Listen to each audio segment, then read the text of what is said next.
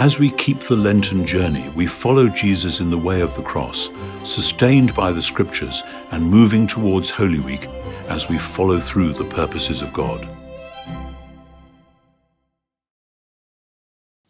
Joel chapter 2, verses 12 and 13. Yet even now, says the Lord, return to me with all your heart, with fasting, with weeping, and with mourning. Rend your hearts and not your clothing. Return to the Lord your God, for he is gracious and merciful, slow to anger and abounding in steadfast love, and relents from punishing.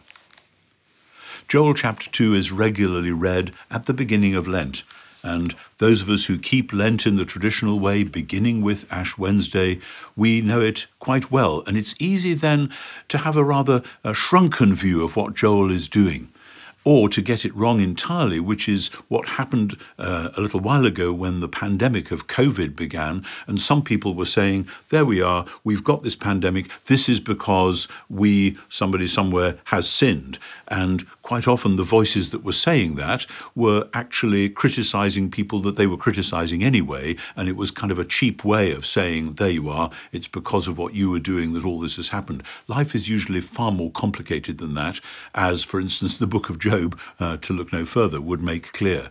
Nevertheless, the book of Joel is all about a terrible threat which has come upon the people of God that there's been a plague of locusts destroying everything in their path, eating all the crops and the harvests, and people are seriously worried that if they can't uh, have their crops as usual, they and their children are going to starve. So, what's to be done?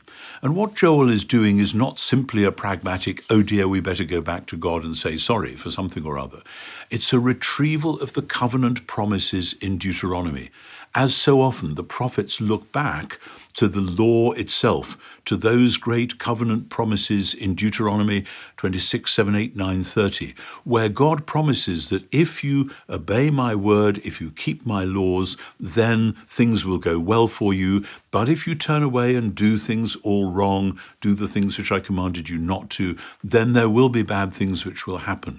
And that will ultimately end up, says Deuteronomy, in exile. But then in Deuteronomy 30, and this is what is echoed in the passage I read, we find um, God saying to the people that when all the bad things happen, then return to me with all your heart. And as Joel says, rend your heart and not your clothing. In other words, it's easy to make an outward gesture of penitence. Oh dear, how terrible!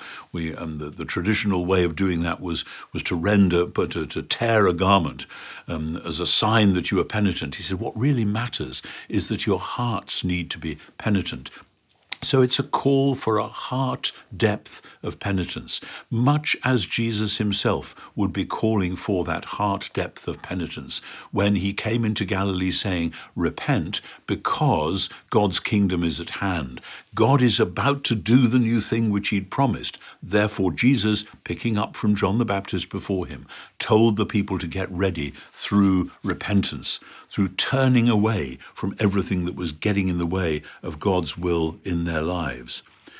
And indeed, Jesus, in the prayer that he gave us, in the prayer we call the Lord's Prayer, taught us to pray, Forgive us our trespasses as we forgive those who trespass against us. In other words, there is a sense in which a little bit of Lent happens every day when we say the Lord's Prayer, that turning to God ought to be something which we don't just do once a year when, oh dear, it's Lent, so we better do it.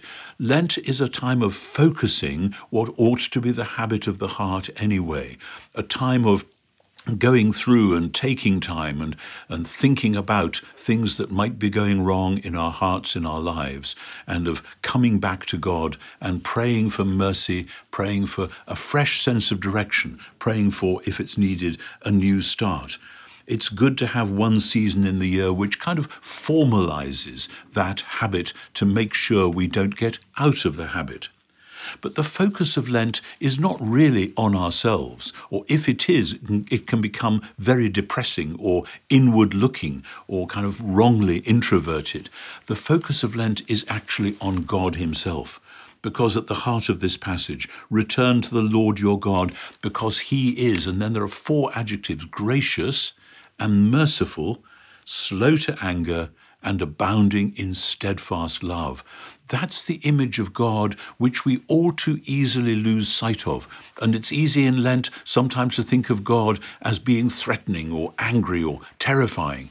Uh, and so we, we, we repent for all the wrong reasons, as it were. But the answer is no, it's because God loves you. It's because he wants the best for you. He is slow to anger and he is full of gracious and steadfast love. That's what we cling to, and that's the thing that will sustain us through Lent.